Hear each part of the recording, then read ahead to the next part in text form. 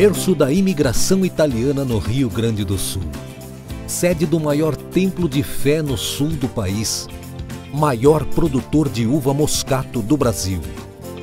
Um município desenvolvido, centro de indústrias, de compras, gastronomia, de produção agrícola e de muitos atrativos. A cidade de Farroupilha está em plena Serra Gaúcha Aqui chegaram os primeiros imigrantes vindos da Itália. Vestígios de uma cultura muito presente na região. Todo ano, mais de 2 milhões de fiéis visitam o santuário de Nossa Senhora de Caravaggio, o maior do sul do país. Farroupilha é a terceira maior produtora de uvas do país e a primeira na variedade Moscatel, o enoturismo é uma das atrações para os visitantes. Farroupilha celebra sua cultura e sua produção.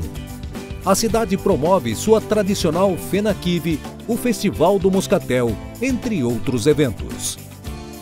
O roteiro Histórias e Memórias recupera os atrativos do desvio Blaut, considerada a primeira estação de veraneio do Rio Grande do Sul. Farroupilha é cenário de aventuras, o município é muito procurado por quem busca a adrenalina das escaladas e rapel. Memória, cultura, gastronomia, belezas naturais, aventura, religiosidade. Farroupilha é assim, plena de atrativos para toda a família, o ano inteiro.